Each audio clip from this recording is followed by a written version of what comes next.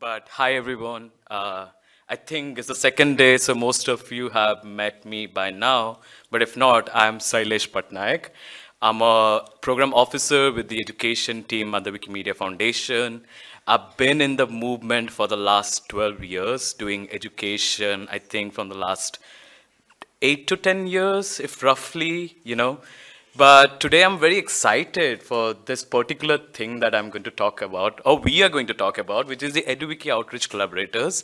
But before starting my session, I want to give like an example, you know, like a person, I want to share a personal experience. So when I was a, when I was a movement organizer myself, it was very difficult for me at that time to find support. Yes, I would come to the international conferences. I'll hear everything, you know, like all the experiences that people have learned from something. But it was difficult for me to like put it in my context or, you know, like think of like how would this happen? There is a global model, but how could this work in the work that I try to do? And in this term, you know, in this kind of a thing, it really helps when you have like a regional support. You have someone who who, who, who understand your context, who understand your local challenges, who understand the opportunities, and is a friend in need, I would say, yeah.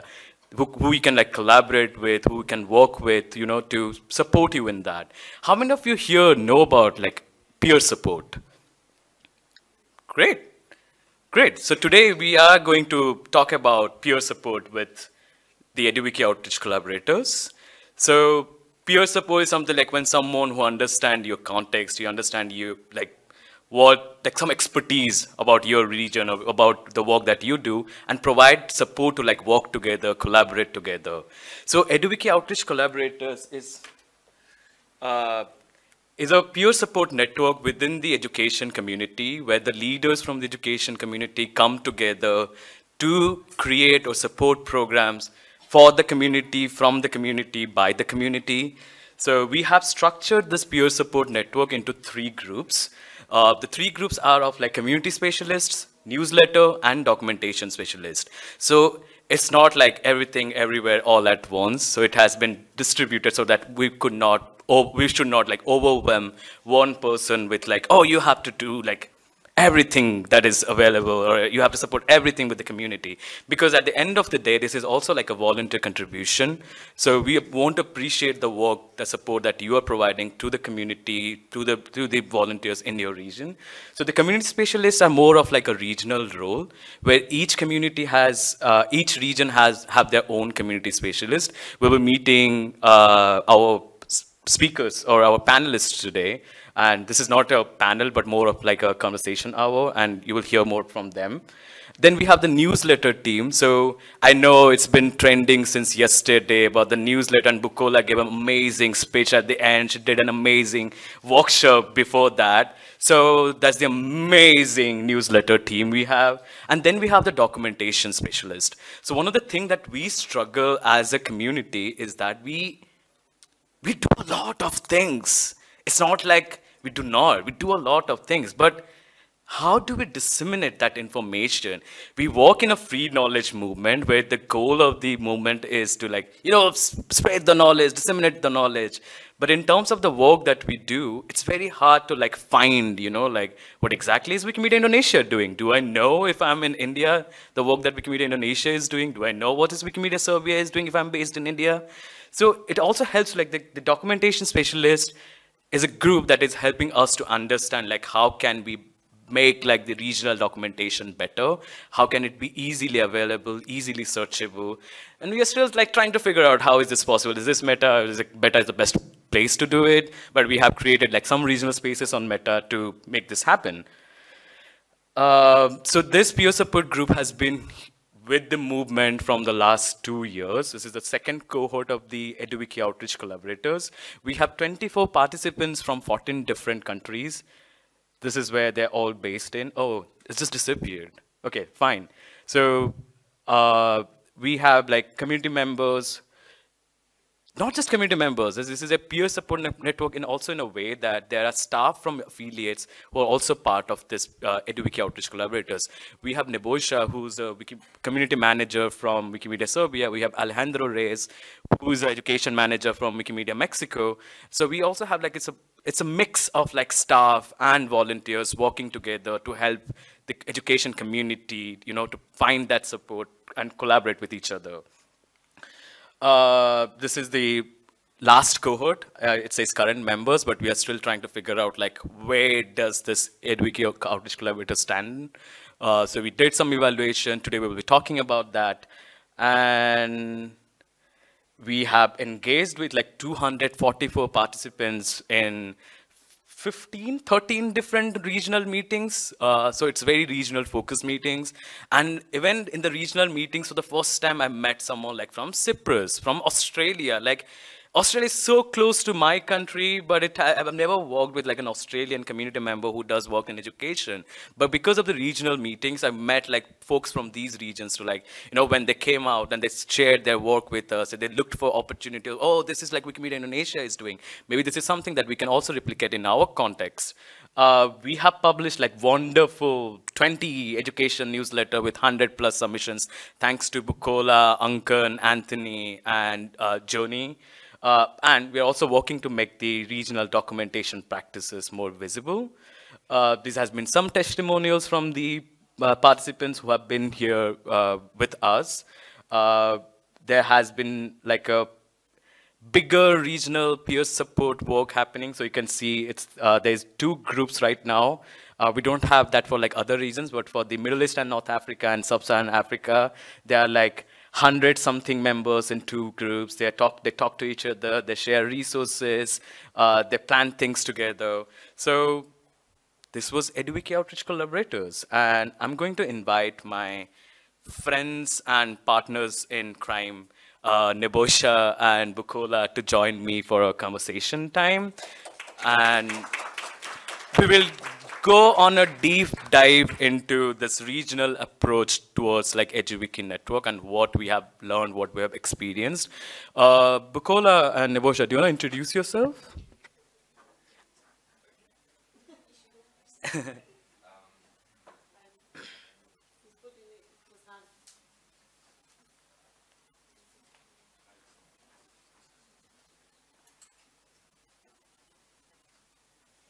Okay, hello everyone. Um, I'm Nebojsa Ratkovic, Education Program Manager at um, Wikimedia Serbia.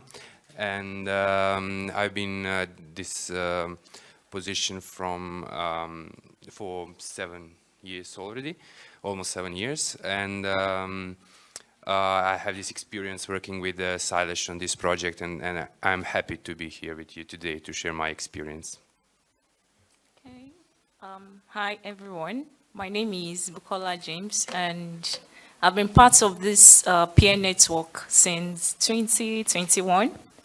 And yes, it's been a good um, network of um, leaders coming together to share insights and also like provide supports for um, educational leaders within their network. So I'm from Nigeria and I'm also a member of the EduWiki Africa uh, network. So happy to be here and thank you. Thanks, Bukola. And it's, it's interesting also to see like how the members of the like the Ruby, who uh, is our community specialist for Sub-Saharan Africa, after being part of the EOC or the EduWiki Outreach Collaborators, she started uh, podcasts. So now you have like stories from like African community members that you can listen to and get inspired and understand their context, understand the work they're doing regional and how inspiring it is. But I actually want to start with you, like to know more about your experiences. Uh, Nebojsa, you mentioned that you have been with this cohort, I think since the pilot we started like two years back. How has been your experience? And Bukola, you are relatively new, like, you know, just one year. Yeah. So what has been your experiences being part of a peer support network? Um, yeah, for Wikimedia Serbia, it was, um, mm, let's say, a logical step because um, we started our education program in 2005. uh, so quite a long time ago.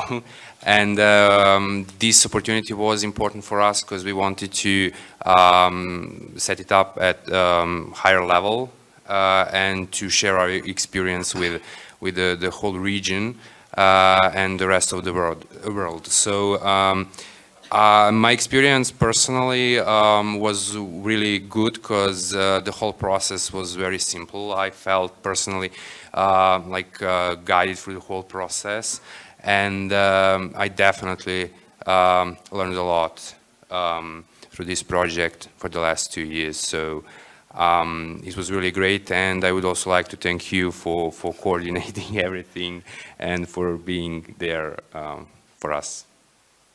Okay, um, so for me, I would say it's a great learning experience and an opportunity to like enhance my communication skill because uh, we discovered that there was a need for um, educational leaders, people who have been doing exciting projects and activities to like share their projects with other people who would also like want to learn from uh, the best practices from some of the projects that they've implemented. But then there was no documentation, there was no like um, something that could like provide a guide aside for maybe the final reports, the writes after the projects and the likes. So we thought that it would be best to also like um, have a space where they could share uh, some of their experience in form of a, a, a podcast and also like um, write about their activities. So it's not just about documenting for reporting sake, but also like having people learn more about the project. So uh, for me, it's a, it's a great learning experience and also like an opportunity uh, to engage many people. And uh, I think uh, being part of the e-work has also like helped me uh, better understand how we can like um, amplify our voices in terms of um, helping people learn more about what uh, educational leaders are doing in their various community. And I think it's a great one and it's, it's, it's a good one because uh, having to like have this podcast, have a, a, a place where they could share their story, and uh, I see that it also kind of provide a lot of uh, opportunity for people outside of the wiki education space to also learn from what we do. So I think it's it's been great, and yeah, that's. Yeah, thanks for sharing that perspective, Bukola. I'm I'm also like interested to know that you're telling a, a bit about the impact that it has created on you. Yeah. Do you have like any experience or someone you know like sharing that the impact that it has happened to them, like being like the support that we have provided through the uh, as an edu Eduwiki Outreach Collaborator member? Okay, yes. Um, so uh, before, I think before 2021, uh, the community, the African, the EduWiki community in Africa have been really doing a lot of programs and activity. But like most of them were not uh, familiar with the newsletter, uh, like they do not know that there was an existing network that could like provide uh, support for them in terms of mentorship and also like um, guide them through some of the programs. Maybe they needed um, advice or like they need someone to just um, guide, um, assist them during implementation or like provide a guideline on how to go about the planning for their projects and all that. But then uh, I have got a lot of people reaching out to me telling me that, oh, Buki, I would like to feature my uh, story or I would like to feature what I do in the education newsletter. And it makes me happy because I know, uh, I feel like, yes, we are really achieving uh, something at the end of the day because we get people who want to reach out to us, who want to showcase their projects. So it's, it's, a, it's a good one and I think I've um, had a lot of engagements with people uh, in terms of like they want to learn how to um, submit their activities, they want their, their project to be featured in the newsletter and all that. So, and yes, it, um, there was some time we even had to like organize online training to guide them on how to uh, go about some of these things. So yes. I'll, I'll be back to you, Nebojsa. So uh, last year, I think I was reading the report of Wikimedia Sub, and you, had, you mentioned something in your uh, introduction as well, like how within Wikimedia Serbia you are exploring that the activities that you are doing does not only help the country or the region in Serbia, but also goes beyond Serbia, serves to the community or helps to the community uh, within CEE or global. So I read in the last uh, progress report, annual report of Wikimedia Serbia that the uh, EduWiki Outreach Collaborators was mentioned as like a regionalization approach towards like providing support within the CEE region. So my question is like, when you think of that as a reg regionalization approach, what comes to your mind as EOC being like regionalized, being supported by a particular region and build something out of it, yeah. Yeah, um, I definitely think that um, um, uh, putting that um, on the regional level would definitely help to hear more from some smaller communities.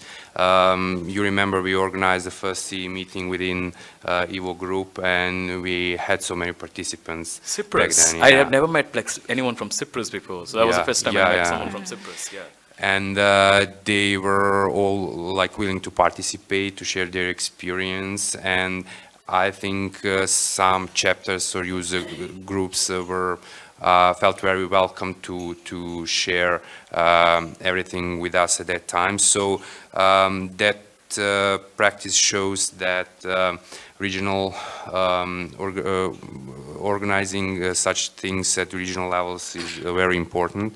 Uh, I think in CE region we have uh, that kind of problem with a smaller um, um, chapters or user groups uh, that are not uh, active enough and they have uh, really good things to share with others. They have uh, many good practices, but they are not visible um, so much.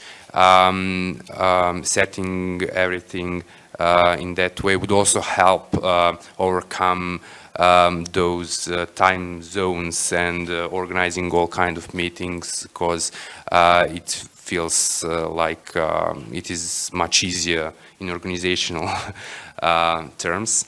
And um, it's really important uh, not to um, forget that some regions are um, feeling very close because of some cultural and historical and social um, um, things they share all together. Uh, some regions um, um, feeling closer because of the language as well. So uh, I think uh, that would be really uh, great uh, because they can also organize some um, joint programs or, or projects um, like for example we tried before COVID or actually the, the year COVID starts with North Macedonia to organize EduWiki camp for high school um, uh, students. So, um, and uh, the, the last thing, but um, uh, also very important, is that uh, it could be possible to mo motivate uh, teachers and professors from schools and faculties to participate more in that kind of, of events uh, when we talk about regional levels. That's exciting. Um, I'm, I'm just thinking of like, have you have you ever had a chance to like you know work together with like edu education staff within the CEE to like think of something like how can we build this sub network and like support each other in the work as well? Um, well, this experience with EVOC uh, helped me and uh, motivated me to participate um, in the men mentorship program um, that um, user group uh, Wikimedia and Education organized and uh, I participated twice. So I had a chance to share my experience with uh, my colleagues from um, Philippines, Nigeria, Ghana and uh, I also participated in the podcast Oh, Ruby organized, yeah. Um, I also uh, had a chance to uh, talk to others uh, about that, and I think that uh, kind of uh, uh, mentorship program is a great example of how it can be done, uh, but also um, some maybe working groups Yeah. um, like the one we heard, Let's Connect or CEE Hub or uh, things like that. Yeah. Yes, it feels like, you know, like we are all so interconnected with the work, like one thing connects another and that helps like others who are part of our community or our movement. Um, so now I'll come back to Bukola. Bukola, newsletter team within the EduWiki Outreach Collaborators has been self-organizing, I think for last, like we started like the newsletter team like two and a half years back and it has been like self-organizing for the last one and a half years. I've like done nothing. Like initially during the initial days i would support a bit on that. But this group has been very independent within the EduWiki outreach collaborators group. And uh, my question for you is where do you see the future of this group?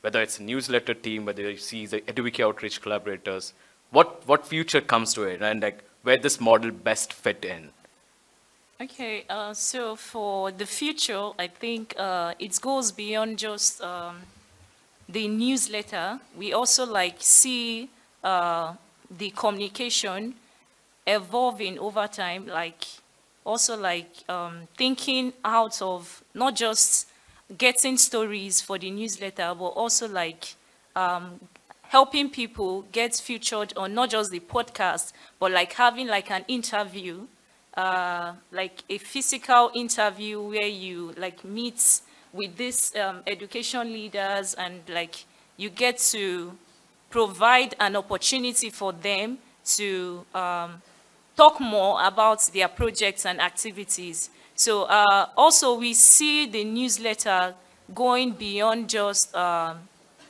um, talking about what people are doing in the education, but also like inviting other people outside of the Wikimedia education to like talk more about um, from their own context how they see education and how we can like align what the Wikimedia education is doing with uh, what they are doing in their various organization and institution.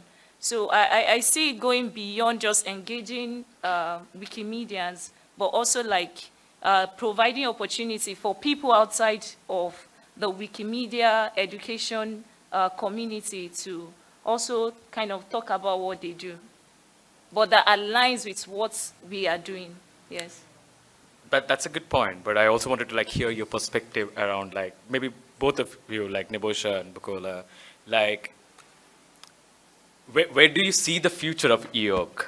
You know, we talk about like, yes, we are looking for like a bigger audience to come to us, you know, use our platforms, share their stories, but also like where, where, where does the EOC stands in the next few years? Um, I would say definitely in uh, setting more of these regional connections.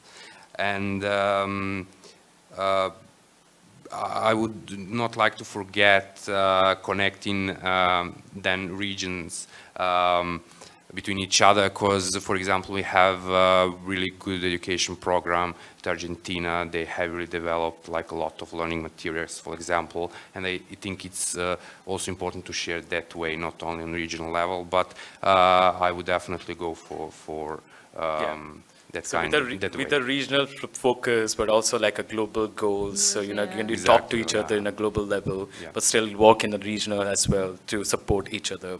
Um, do we have any questions for this group?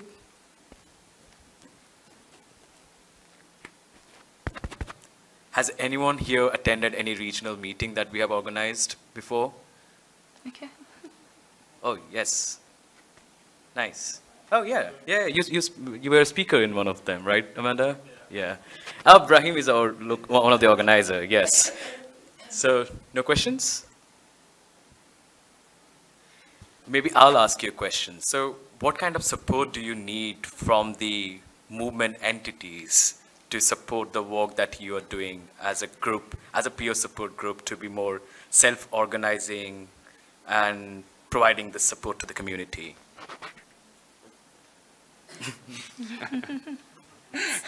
Speak.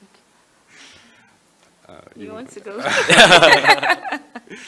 Um, well, I would um, say that um, it would be best to have like uh, more knowledge uh, on how to do these kind of things, because uh, maybe um, some chapters or user groups have more experience in that, because it's not easy to coordinate uh, so many um, chapters uh, on a regional level. So definitely uh, some experience uh, um, about that and uh, support in um, maybe organizing some in-person events um, sometimes.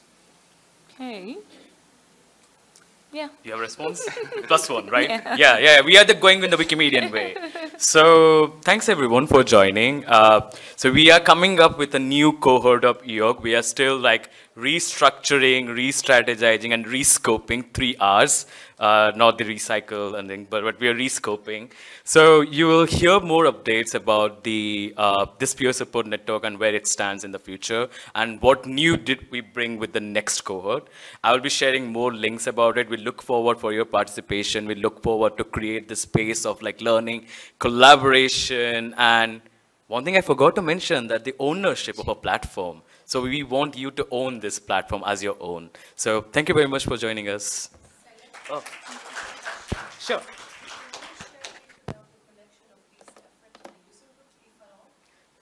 Uh, yeah. So one thing that Nebojsa did mention that how when he joined the uh, when when he joined as a member of uh, the EOC, that actually encouraged him to like join as a mentor mentor for the e, uh, for the uh, user group as well. And, and a few of the members who are always who have, who have been part of the uh, EOC mem- are also part of the user group uh, activities when, in terms of like mem- mentorship, being a mentee, and providing support with the newsletter. Yeah, and I think some of them became uh, EVOC members uh, after mentorship. after mentorship yeah. as well yeah so it's we're also trying to find that interconnection shani like how you know it can fit together it can be the best way of like how do you how do you frame it like the connection or the joint between the user group and this particular group like working together for supporting the community so yeah thank you